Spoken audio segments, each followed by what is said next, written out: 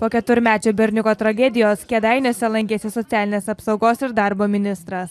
Vaiko teisų tarnyba ministrui teisinasi, kad siūlė įtraukti šeimai į stebimų sąrašą, tačiau išsiuntus įraštą socialiniai tarnybai, taip ir nesiteikia pasidomėti tolimesnė situacija. Ministras sako, kad vaiko teisų skyriaus vedėja turi išeiti iš darbo. Kedainių meras sako, kad dėl to spręs po tarnybinio patikrinimo. Vaiko teisų apsaugos skyrius siuntė raštą socialinių paslaugų skyriui ir tas raštas nenuėjo.